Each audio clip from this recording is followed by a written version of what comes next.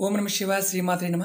మిత్రులకి శ్రేయోభిలాషులకి అలాగే నన్ను ఇంతగా ఆదరిస్తున్న యూట్యూబ్ ప్రేక్షకులందరికీ కూడా పేరు పేరు ధన్యవాదాలు. మిత్రులారా మీ అందరికీ కూడా పరాదేవత ఎల్లవేళలా మీతో ఉండి మీ మనోవాంఛ నెరవేర్చాలని మనస్ఫూర్తిగా కోరుకుంటున్నాను. ఈరోజు మనం ఒక అద్భుతమైన ఉపాయం తెలుసుకుందాం. ఈ ఉపాయానికి రెండు నిమ్మకాయలు కావాలి పచ్చకర్పూరం కావాలి పసుపు కావాలి. అసలు ఈ ఉపాయం చేయడం వల్ల కలిగే లాభం ఏంటో మీకు ముందే తెలియజేస్తాను మనం పూర్వకర్మల్లో పూర్వజన్మల్లో చేసిన కొన్ని తప్పుల వల్ల శాపాల వల్ల మనకి అదృష్టం కలిసి రాదు. మన చేతిలో ధనం నిలబడదు. ధన సంపాదన స్థిరంగా ఉండదు. ఎప్పుడు ఏదో ఒక ఇబ్బంది పడుతూనే ఉంటాం. కానీ ఇప్పుడు మనం పూజలు వ్రతాలు నోములు ఎన్ని చేసినప్పటికీ కూడా అనుకున్నంత ఫలితం రాదు. ఇలాంటి సందర్భాల్లో అసలు ఎందుకు జరుగుతుంది? దాని నుంచి కూడా మనం తప్పించుకోగలమా? దాని నుంచి కూడా బయటపడగలమా? అని చాలామంది మిత్రులు అడుగుతూ ఉన్నారు. నేను ఈ ఉపాయాన్ని మీకు చెప్పడానికి గల బలమైన కారణం నా శ్రేయోభిలాషి నా మిత్రుడు ఆధ్యాత్మికంగా నాకు బాగా దగ్గరగా ఉన్న వ్యక్తి. ముప్పై సంవత్సరాల నుంచి ఆయన తాంత్రిక గ్రంథాల్లో తాళపత్ర గ్రంథాల్లో ఉన్న విషయాన్ని ఒక విషయాన్ని నాకు షేర్ చేయడం జరిగింది. ఆ విషయాన్ని మీకు నేను ఈరోజు తెలియజేస్తాను. అద్భుతమైన మన జీవితాన్ని మార్చుకోగలిగే ఒక తేలికైన ఉపాయం. ఇలాంటి ఉపాయాలు చాలా తాంత్రిక గ్రంథాల్లో కానీ మన దగ్గర ఉన్న పుస్తకాల్లో కానీ అందుబాటులో లేవు. కొన్ని తాళప్రత గ్రంథాల్లోనూ పురాతనమైన ప్రతుల్లో మాత్రమే అందుబాటులో ఉన్నాయి. జ్యోతిష్ శాస్త్రంలోనూ తంత్రశాస్త్రంలోనూ మన పురాణాల్లో కూడా అంతర్లీనంగా చాలా చిన్న చిన్న ఉపాయాలు ఉన్నాయి. మీకు వీలైతే పురాణాలు చదవండి. అద్భుతమైన జ్ఞానం వస్తుంది. మన సైన్స్ ఏంటో అర్థమవుతుంది. ఈ ఉపాయం చేయడం వల్ల మనలో ఉండే కొన్ని అద్భుతాలు జరిగే అవకాశం ఉంటుంది. అవి ఎలా జరుగుతాయి? ఏ విధంగా జరుగుతాయి? ఎలా చేయాలో మీకు పాయింట్ టు పాయింట్ చెప్తాను. స్కిప్ చేయకుండా చూడ ప్రయత్నం చేయండి. మీకు ఈ వీడియో కొంచెం లెంతీగానే ఉండవచ్చు. బోరుగాను సోదిగా అనిపించే వారి పొరపాటును చూడమాకండి. ఫలితాలు రావు రాకపోగా మానసికంగా ఇబ్బందిని ఎదుర్కోవాల్సిన పరిస్థితి పడుతుంది ఎందుకంటే ఇది ప్రాకృతికమైన అంశం కాబట్టి చెప్పడం నా బాధ్యత. అందుకే ముందే చెప్తున్నాను. ఎవరైనా సరే ఇది ఆడవారైన మగవారిని చేయవచ్చు.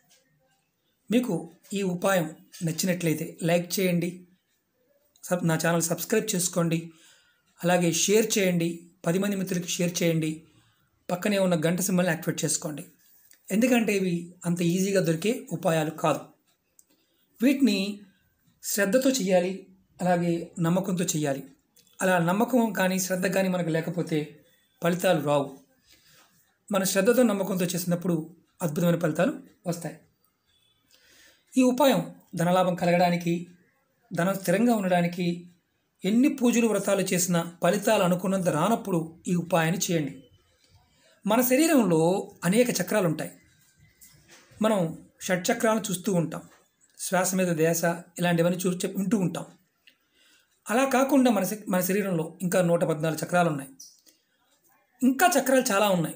ఈ నూట పద్నాలుగు చక్రాల్లో మన అరిచేతుల్లో కూడా కొన్ని చక్రాలు ఉంటాయి మన చేతులతో ఏ పని చేసినా కలిసి రాకపోవడానికి గల బలమైన కారణం మనలో ఉండే దైవశక్తి మనలో ఉన్న మానసిక శక్తిని ప్రేరణ కలిగించే కొన్ని సందర్భాలు ఆ శక్తిని అడ్డుకునే కొన్ని దుష్ట శక్తులు కావచ్చు నెగిటివ్ ఎనర్జీ కావచ్చు పూర్వకర్మలు కావచ్చు. అలాగే తెలిసి కానీ తెలియ కానీ అంతకుముందు జన్మలో చేసిన పాపాల వల్ల కానీ కొన్ని సందర్భాల్లో మనకి ధనం రాదు. మన పెద్దలు చెప్తూ ఉంటారు పూర్వజన్మలో ఉన్న పుణ్యఫలమే ఈ జన్మలో మనకి ధనంగా వస్తుంది అని. ఆ ధనాన్ని ఆ వచ్చే ధనాన్ని కూడా అడ్డుకునే కొన్ని శక్తుల నుంచి ఈ ఉపాయం చేయడం వల్ల బయటపడతాం. చాలా తేలికైన ఉపాయం అద్భుతమైన ఉపాయం.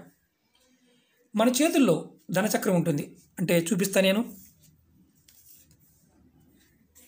ఇది చేయనుకోండి ఎడం ఎడమ చేయి కావచ్చు కుడి చేయి కావచ్చు. మనకి ఇవన్నీ స్థానాలు. ఈ చూపుడు వేల కింద ఉన్న స్థానం గురుస్థానం అంటాం. అలాగే మధ్యవేలి కింద ఉన్న స్థానాన్ని గురు శనిస్థానం అంటాం. ఈ ఉంగరపు వేల కింద ఉన్నదాన్ని రవిస్థానం అంటాం. చిటికిని వేల ఉన్నదాన్ని బుధస్థానం అంటాం. ఈ మధ్య భాగంలో ఈ చివరి నుంచి చివరికి ఉన్నదాన్ని కుజస్థానం అంటాం. కుజస్థానం ఒకటి కుజస్థానం రెండు.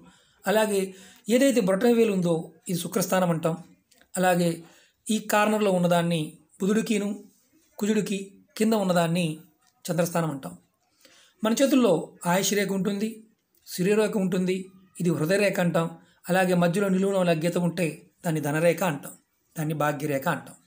మన అరిచేతిలో మన అరిచేతిలో భాగ్యరేఖ ఉన్నప్పటికీ కూడా అదృష్టం కలిసి రానప్పుడు ఈ ఉపాయాన్ని చేయవచ్చు. ఈ ఉపాయం చేస్తున్నప్పుడు మీరు గుర్తుంచుకోవాల్సింది ఏంటంటే మన అదృష్టాన్ని మనం తెచ్చుకోవడానికి ఆ ద్వారాన్ని ఓపెన్ చేయడానికి మనం ఈ ఉపాయం చేస్తున్నాం. అది గుర్తుంచుకొని చేయాలి ధనచక్రం మామూలుగా మన చేతిలో ఉంటుంది. ఈ ధనచక్రం ఎప్పుడైతే ఓపెన్ అవుతుందో అప్పుడు మనకి ధనం అనేది వస్తుంది. ధన సంబంధిత విషయాలు ఏ ప్రయత్నం చేసినా మనకు అప్పుడు ధన రాబడి పెరుగుతుంది. అలాగే డబ్బు సంపాదించడం కోసం చాలా కష్టపడుతున్నాం. వ్యాపారం చేస్తున్నాం. వ్యాపారంలో ఇబ్బందులు వస్తున్నాయి. ఉద్యోగం చేస్తున్నాం. ఉద్యోగంలో సరైన ఎదుగుదల లేదు. స్థిరత్వం లేదు ఖర్చులు మా ఆధీనంలో లేవు మా చేతులతో ఖర్చు పెడితే అసలు ఎంత ఖర్చు పెడుతున్నామో తెలియడం లేదు అనేవారు కూడా ఈ ఉపాయం చేయవచ్చు. ఈ ఉపాయం ఇలాంటి సమస్యలు గ్రామ భాగంలో పనిచేస్తుంది. మన అరిచేతిలో ఈ శుక్రస్థానము అలాగే బుధస్థానము గురుస్థానం ఇవి బలంగా ఉన్నప్పుడు ఈ మూడు స్థానాలు ఈ మూడు స్థానాల మధ్యలో మనకి ధనచక్రం ఉంటుంది. అలాగే మానసికంగా మనం బాగుండాలి అన్నప్పుడు చంద్రుడు బలంగా ఉండాలి. చంద్రుడు బలంగా ఉన్నప్పుడు మనకి మనసు ప్రేరణ బాగా కలుగుతుంది. శుక్రుడు చంద్రుడు గురువు బుధుడు మిగతా గ్రహాలు బాగోకూడదా గురువు గారు అని అడిగేవారు ఉంటారు. అన్నీ బాగుండాలి. కానీ బలమైన ప్రభావాన్ని చూపించే ఈ స్థానాలు బాగున్నప్పుడు కొన్ని ఇబ్బందులు ఉన్నప్పటికీ కూడా మనం బయటపడతాం. ఈ ఉపాయం చేయడం వల్ల ధనచక్రం ఓపెన్ అవుతుంది. మనలో ధన రాబడి పెరుగుతుంది. రెండు నిమ్మకాయలు తీసుకోండి. నిమ్మకాయని ఇలా నాలుగు భాగాలకు కట్ చేయండి. మొత్తం పూర్తిగా కాదు. దానిలో పచ్చకర్పూరాన్ని ఇలా తీసుకోండి.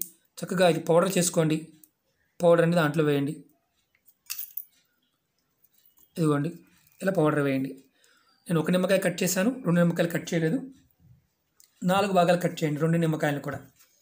తర్వాత పూర్తిగా కట్ చేయదు. ఇలా నాలుగు భాగాలు చేయండి అంతే. చూడండి.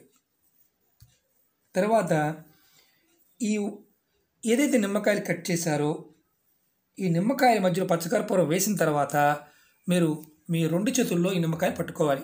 ఎలా పట్టుకోవాలి చెప్తాను. ముందు ఇందుట్లో నింపండి. ఇది నింపిన తర్వాత పచ్చకర్పూరం నింపిన తర్వాత ఎలా పట్టుకోవాలి చెప్తాను. ఈ నిమ్మకాయని ఇలా పెట్టేసి మీ అరిచేతిలో ఈ చేతిలో ఒకటి ఎడం చేతిలో ఒకటి కుడి చేతిలో ఒకటి. మీ అరిచేయి టచ్ అయ్యే విధంగా ఇలా పెట్టి పట్టుకోండి. రెండు గుప్పిళ్ళు ముయ్యండి. ఇది ఎప్పుడు చేయాలి అంటే ప్రతి అమావాస్యకి ప్రతి పౌర్ణమికి ఈ ఉపాయాన్ని చేయాలి. అంటే పదిహేను రోజులకు ఒకసారి ఉపాయం చేయాలి. ఆడవారైనా మగవారైనా. ఇందుట్లో ఎటువంటి ఆహార నియమావళి లేవు. అలాగే నెలసరి టైంలో కూడా ఈ ఉపాయాన్ని చేయవచ్చు. ఎటువంటి ఇబ్బంది లేదు. అలాగే మైలు కూడా ఏమీ లేదు. ఇలా మీరు ఈ రెండు నిమ్మకాయల్ని పది నిమిషాలు పట్టుకోండి. రెండు నిమ్మకాయలు కట్ చేసాము దాంట్లో పచ్చకర్పూరం నింపాము. నింపిన నిమ్మకాయని ఇలా కట్ చేసిన భాగాన్ని అరిచేతిలో పెట్టాము ఇలా పట్టుకున్నాం. పెట్టుకొని పది నిమిషాలనే మీరు ఇలా పట్టుకోండి. పట్టుకొని మీ మనసులో తెలిసి కానీ తెలియక కానీ పూర్వకర్మంలో ఏదైనా తప్పు చేసి ఉంటే క్షమించమని కోరుకోండి. ఇలా మీరు చేస్తూ ఉంటే మీ అరిచేతిలో ఉన్న ధనచక్రాలు ఓపెన్ అవుతాయి. మీకు నిమ్మకాయకున్న శక్తి. మనం దేనికి వాడుతుంటాం తంత్రమంత్రాలకు వాడుతూ ఉంటాం. అమ్మవారికి వాడుతూ ఉంటాం. రాహుకాల దీపం వెలిగిస్తూ ఉంటాం.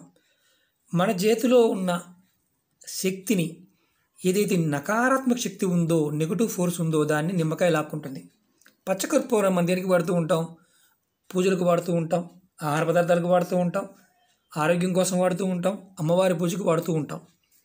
సాక్షాత్తు శక్తి శుక్రబలము అలాగే అమ్మవారి బలము మనకి మన చేతుల్లో ఉన్న ఎన్నో జన్మల నుంచి ఓపిని కానీ అంటే ఎన్నో జన్మల నుంచి మన అదృష్టం మనకు కలిసి రావట్లేదు అనుకోండి. అంటే మీరు ఇది చేయటం వల్ల కలిగే లాభం చెప్తున్నాను. మీలో ఇలా పట్టుకోవడం వల్ల ఒక పాజిటివ్ శక్తి వస్తుంది. మీలో ఉన్న నెగటివ్ని ఈ నిమ్మకాయ లాక్కుంటుంది. మీకు ఈ పట్టుకోగా తెలుస్తుంది మీకు ఏదో మీలో ప్రవేశిస్తుంది అన్న భావం కూడా మీకు తెలుస్తుంది. మీకు ఏదైతే మనం మూసుకుని ఉన్న అరిచేతుల్లో మూసుకుని ఉన్న ధనచక్రాలు ఓపెన్ అవుతాయి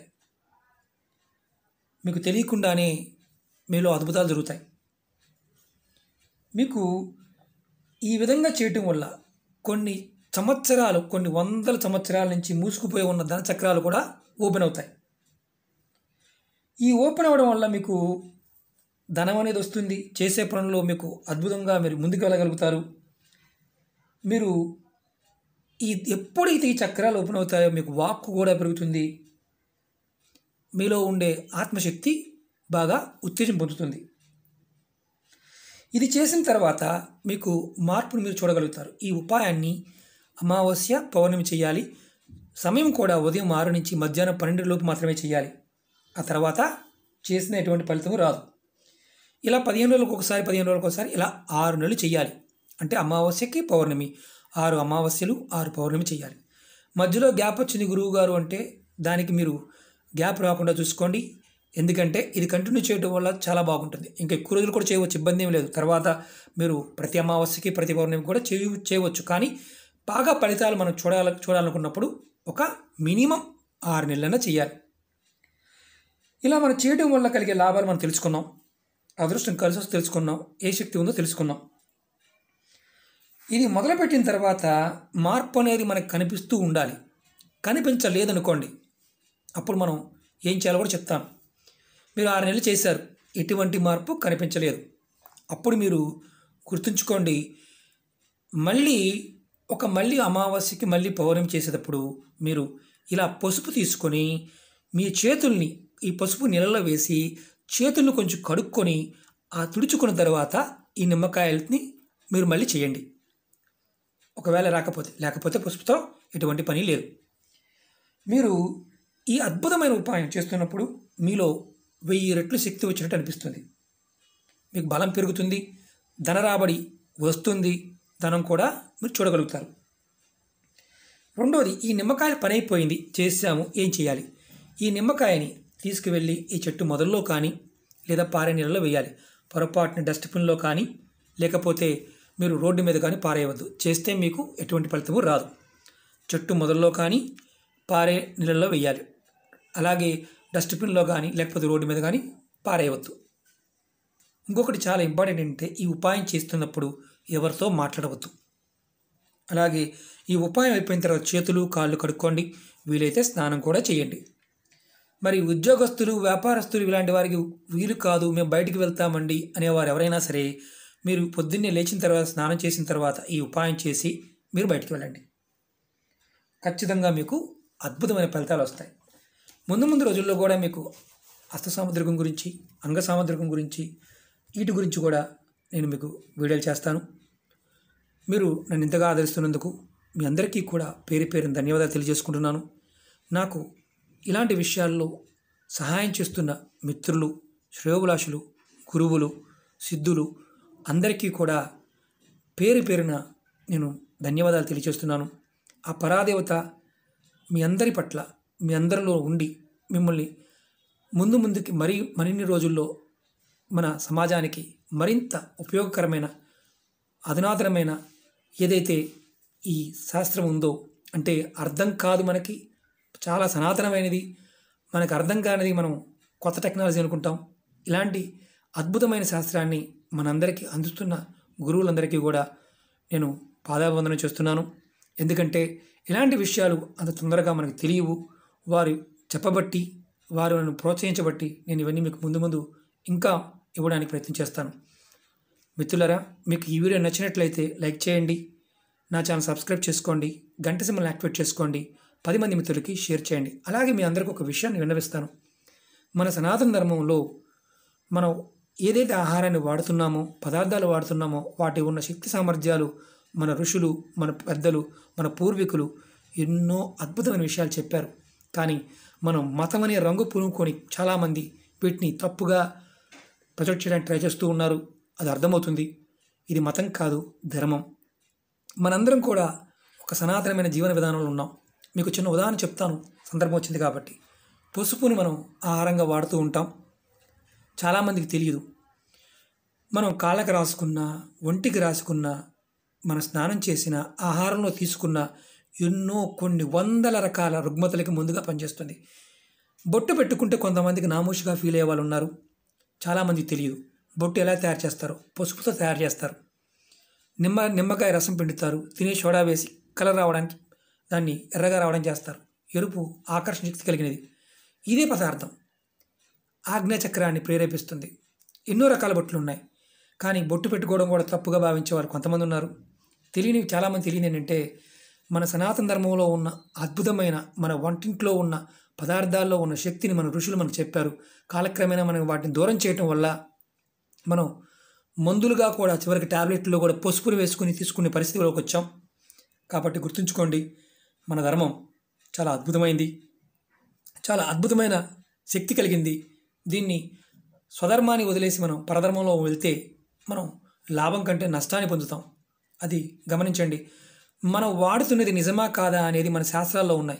మీరు పురాణాలు చదవండి. సైన్స్ని మన కథల రూపంలో చాలా అద్భుతంగా చదవడం జరిగింది. ఎన్నో గ్రంథాలు ఉన్నాయి. చదివితే తెలిసేది. చాలామంది నెగిటివ్గా భావించి దీన్ని తప్పుగా అనుకునేవారు చాలామంది ఉన్నారు. పదార్థంలో ఉన్న శక్తి మనలో ఉన్న శక్తి ఏకమైనప్పుడు అద్భుతాలు జరుగుతాయి. సనాతన ధర్మం అలాంటిదే. మన ధర్మం ఎప్పుడూ కూడా పరధర్మాన్ని లేకపోతే వేరే వాళ్ళని ఎప్పుడు చిన్నచూపు చూడదు. ఎవరిని అన్ని ధర్మాలని గౌరవించమని చెప్తుంది. కాబట్టి సుధర్మం అనేది చాలా మంచిది. దాన్ని తప్పుగా తీసుకోవద్దు. చాలామంది అడుగుతున్నారు మేము మతాలు మార్చుకున్నామండి. మేము చేయవచ్చా? చేయకూడదని అడుగుతూ ఉన్నారు. మీరు ఈ ఉపాయాన్ని ఈ విధానాన్ని చేయగలిగితే చేయండి. అది మీ అభిప్రాయం మీ మనసు మీద ప్రభావం చూపించే విషయం కాబట్టి. అంతేగాని నేను ఈ మతం అండి నేను ఆ మతం అండి అని మాత్రం నా దగ్గర కామెంట్ చేయమాకండి. ఎందుకంటే మీరందరూ కూడా మన ఈ దేశంలో ఉన్నవారు భారతదేశంలో ఉన్నవారు అందరూ కూడా సనాతన ధర్మంలో ఉన్న వ్యక్తులే నేను భావిస్తాను. నేను మతంగా ఏ మతాన్ని కానీ ఎవరిని కానీ కించపరచడం కానీ ఇలాంటి విషయాన్ని నేను అంగీకరించను. ఎవరు ఎవరు చేసేది వారు చేయాలి. భగవంతుడు అన్నింటిలోనూ ఉన్నాడు. మీరు ఏ రూపంలో కొలిసినా ఏ విధంగా కొలిసినా భగవంతుడు అనేవాడు పలుకుతాడు. అందులో మగవాడం లేదు. ఆయనకి భేదాభిప్రాయాలు ఏమీ ఉండవు. కానీ ఆయుర్వేదంలో ఉన్న ఈ ఈ తాత్విక జ్ఞానం ఈ తంత్రజ్ఞానం అనేది మన ఋషులు చెప్పారు కాబట్టి మనం ఆచరించడం వల్ల ఫలితాలు పొందుతాం. అంతేగాని మతాన్ని మాత్రం ఆపాదించమాకండి మతంగా చూడమాకండి. ఓకే మిత్రులారా ఓం నమ శివ శ్రీమాత్రే నమః.